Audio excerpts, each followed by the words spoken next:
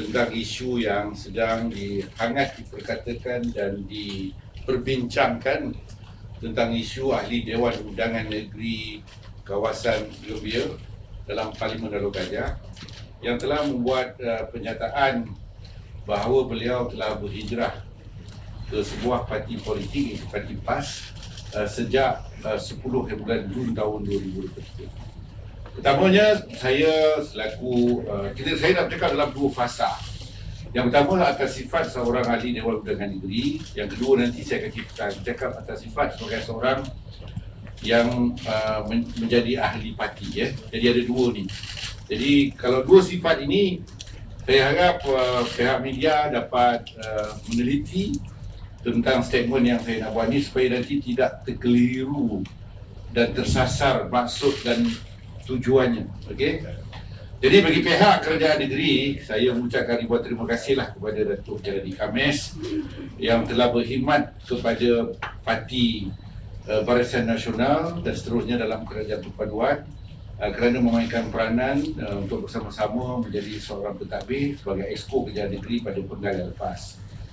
Uh, kemudian uh, saya juga berterima kasihlah kalau saya tengok dalam siri media-media sosial ini uh, beberapa perkara yang dibangkitkan uh, tapi saya rasa lebih baik saya memanggil press hari ini untuk memberikan uh, penjelasan yang lebih uh, baik lagi atas dua sifat itu tadi.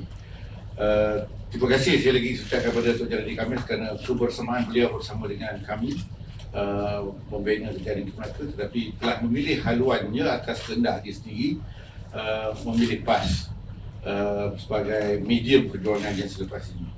Apapun uh, kita kerajaan negeri akan terus komited memberikan perkhidmatan kepada rakyat uh, memandangkan dalam uh, Dewan Undangan Negeri Melaka uh, kita uh, berada dalam satu kedudukan yang baik.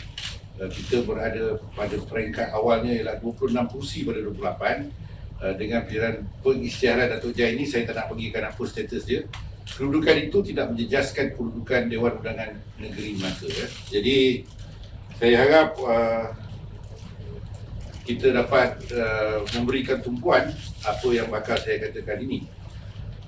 Saya mengambil kira apa yang dimaklumkan oleh uh, yang berhormat Datuk Jalani Kamis uh, selaku Adun Lubia yang telah pun mengatakan secara rasmi uh, memilih Parti PAS sejak 10 Jun tahun 2023 pada satu sidang media yang diadakan di Parlimen pada 16 Julai tahun 2024. Berikutan dengan pengumuman itu dan ianya juga disambut oleh Setiausaha Agung PAS tentang uh, yang berhormat Datuk Muhammad Jalani Kerajaan Negeri Melaka dan Speaker Dewan Undangan Negeri Melaka kita akan meneliti lebih lanjut dakwaan Adul Rebia yang sudah berhijrah ini berpandukan kepada undang-undang dan peraturan.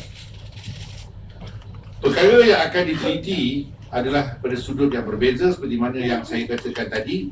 Satu ialah melalui perlembagaan parti sebagai wakil rakyat yang mewakili parti dalam kerajaan dan sebagai ahli Dewan Undangan Negeri sebelum ini dimutamatkan akan dimutamatkan sebelum sebarang tindakan susulan.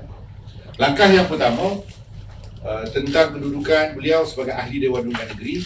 Uh, saya tidak boleh nak bagi komen itu terserah kepada uh, yang berhormat uh, speaker Dewan Undangan Negeri yang akan membuat keputusan. Walau bagaimanapun untuk menjadi seorang ahli yang berhormat melalui sebuah parti politik iaitu UMNO waktu itu beliau telah menandatangani satu aku janji bahawa penghijrahan, penghijrahan dalam mana-mana parti politik di parti asal yang ditunjangi oleh parti yang beliau dukungi dan memberikan tempat untuk bertanding. Dia ada medium dia iaitu satu aku janji yang menjadi perantara di antara seorang individu yang bakal menjadi wakil rakyat dan seorang individu yang telah menjadi wakil rakyat. Jadi saya nak cerita di perantaraan di antara seorang individu yang nak menjadi wakil rakyat telah pun menandatangani perjanjian aku janji dan dia bersedia menerima apa juga syarat yang ditetapkan oleh UMNO waktu ketika itu ataupun Barisan Nasional dan ianya telah ditandatangani dan dipersetujui akan menanggung segala kos yang menjadikan beliau sebagai wakil rakyat yang akan dituntut oleh Parti Barisan Nasional ataupun UMNO sekiranya beliau beralih kepada sebuah parti yang lain. Saya bercakap ini atas peraturan dan aku janji ini ditandatangani oleh uh, semua wakil rakyat termasuk saya dan wakil-wakil rakyat yang ada di sebelah saya ini uh, memperakui bahawa perkara ini kita bersetujui sebelum kita diangkat menjadi seorang wakil rakyat. Wakil rakyat. Mediumnya ialah sebuah perjanjian. Perjanjian ini adalah dipersetujui oleh kedua-dua pihak. You setuju, you sign dan baru parti memberikan watika untuk dibawa sebagai calon kepada parti Barisan Nasional. Jadi beliau telah pun menandatangani uh, pengantaraan perjanjian. Aku janji di antara parti dan individu yang nak jadi calon. Oleh itu, perkara ini saya akan mengambil penelitian pada sudut perundangan yang akan saya bawa ke majlis tertinggi untuk disusun tindakan susulan ya.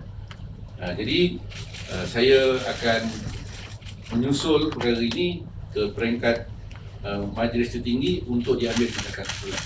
Yang kedua kedudukan beliau sebagai ahli dewan undangan negeri ya uh, saya juga melihat uh, perkara ini akan di, di, disusuli juga dengan uh, enakmen kerja negeri yang telah pun dimutamatkan dalam sidang Dewan Undangan Negeri pada tahun 2023. Eh? Uh, selepas itu kita akan melihat tindakan susulan uh, sekiranya ada perkara-perkara yang boleh kita uh, bangkitkan sebagai uh, tindakan susulan ini untuk diambil tindakan undang-undang atau sebagainya kita akan uh, kemukakan ini. Okey, walau bagaimanapun uh, kerja negeri berfungsi dengan lebih baik uh, waktu ketika ini uh, kerana kita mempunyai uh, tanggungjawab kepada rakyat uh, dan kita juga bertanggungjawab atas uh, mandat yang diberikan rakyat kepada kerajaan negeri sekarang pastinya uh, perkara yang berlaku ini uh, akan kita lebih memfokuskan kawasan Dormia uh, untuk dijadikan kawasan tumpuan uh, setelah wakil rakyatnya tidak lagi berada dalam kerajaan. Okey.